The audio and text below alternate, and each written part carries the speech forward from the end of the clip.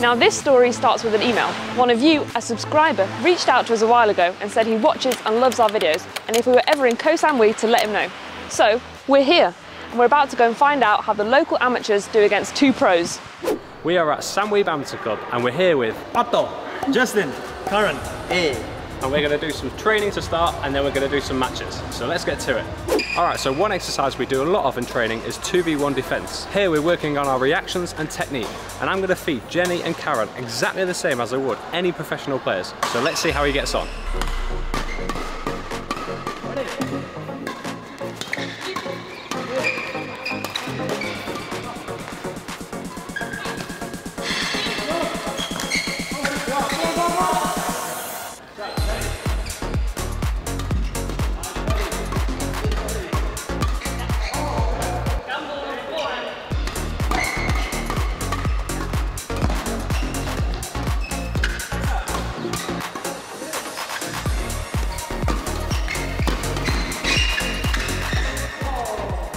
So let's move on to 4v2. Right, so we're going to now play 4v2. Four of them v me and Greg. See if they can smash through us. Just ask them to do anything they can to try and win the point. All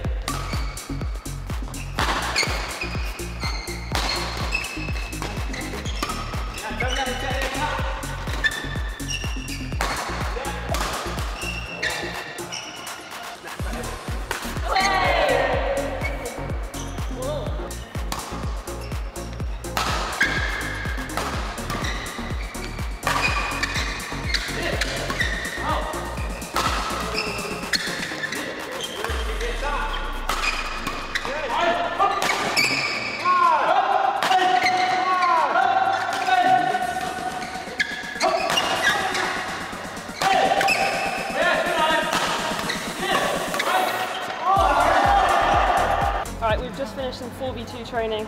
You guys hit some great shots there, hit some good winners. How did you find it? Well, it was really difficult, very hard to read your shots. Then we found that your lifts were amazing.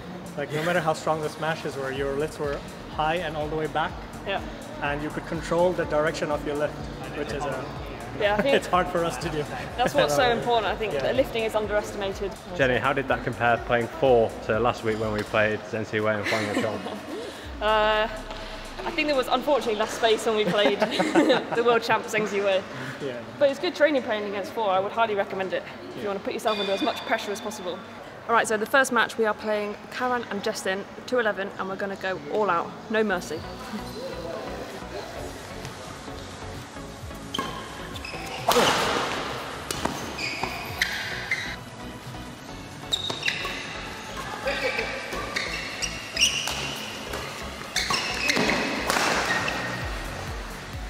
Yeah.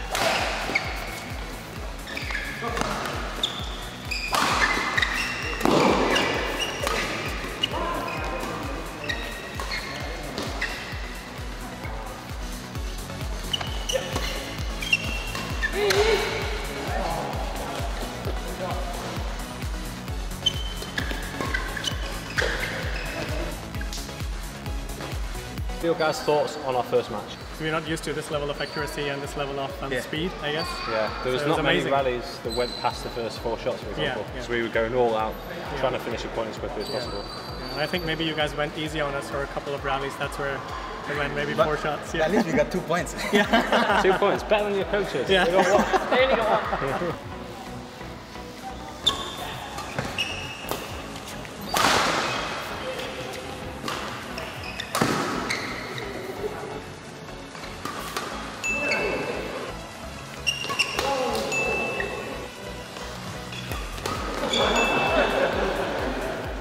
Okay, we're now going to play them again, but this time we're not going to hit anything hard. Let's see how they get on.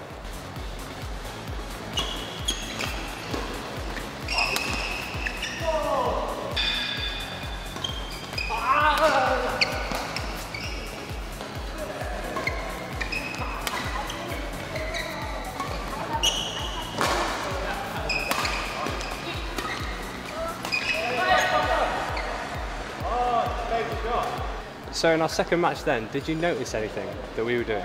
Uh, you were not smashing. We were not smashing.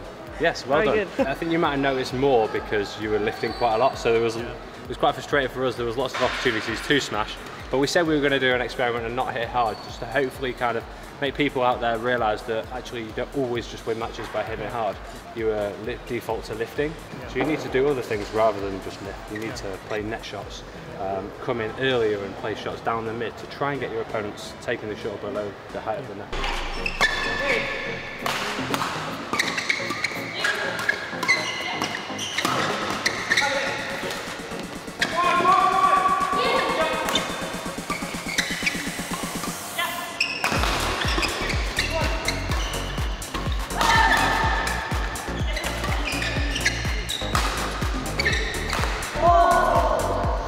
We've just played with each of you. How did you feel playing with us as opposed to playing against us?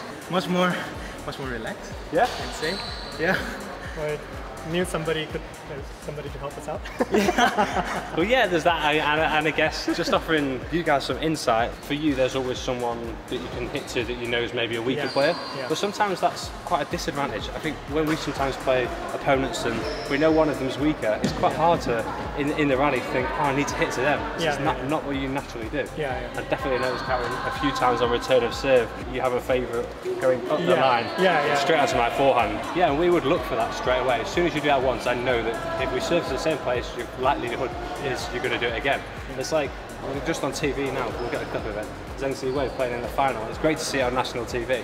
But when we played him last week, I did one shot, got him with it first time, and the next time he was there. He was stood there waiting for it. we go with muscle memory and what we've been doing day in, day out, you know, Exactly. so we forget to be creative. Yeah, that's why we need to to train. think. That's why we need to train Yeah. juniors. You know, Yeah. all these different shots, be able to play every shot in the book. It's really important.